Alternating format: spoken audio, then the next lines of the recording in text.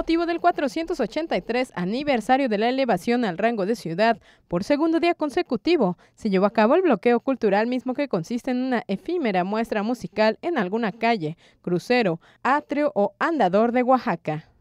En entrevista, el secretario de Turismo del municipio de Oaxaca de Juárez, Jaime Katz Morales, explicó que a diferencia de los bloqueos sociales, estos son artísticos y en conmemoración del aniversario de la ciudad en diferentes eh, cruceros de la ciudad y esto nos va a dar la oportunidad de que en vez de estar ahí esperando nada más el, que se prenda el, verde del SIGA en el, alto, eh, vamos a poder tener la oportunidad de disfrutar de algunos espectáculos, tanto de danza, de música, de lecturas, de teatro. Creo que va a ser una oportunidad para que todos los disfrutemos y vayamos cambiando este concepto de los bloqueos. La información se está colocando en todos los medios a través de carteles que están eh, dando la oportunidad que todo el mundo pueda conocerlos, pero de igual forma lo podemos ver en las páginas de internet que es www.ciudadeoaxaca.org o también lo podemos ver en la página de www.culturas de eh, culturas y artes de Oaxaca eh, gov.mx, que es del gobierno del estado.